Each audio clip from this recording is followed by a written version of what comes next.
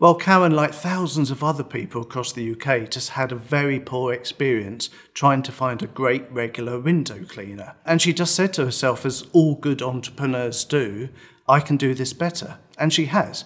She realised that this was a very transferable model to franchise. Gloria is a cloud based artificial intelligence system what does that mean? Well, she sends out thousands of bespoke messages to franchisees' customers. She's also a great accounting tool, sending out automated invoices and even chases customers for late payment. She is a great marketing tool, sending out proven templated emails to customers so franchisees can upsell our additional services.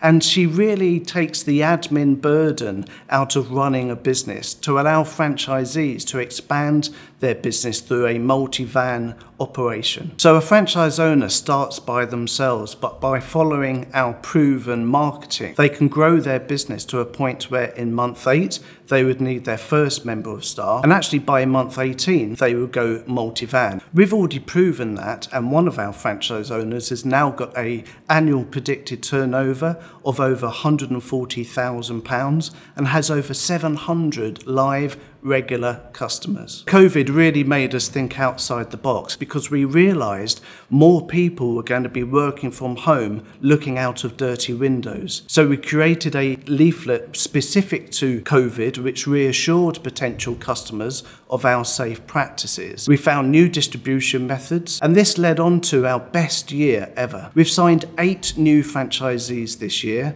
seven of which are already operational. And one of our franchisees has just had a record breaking £3,000 turnover week.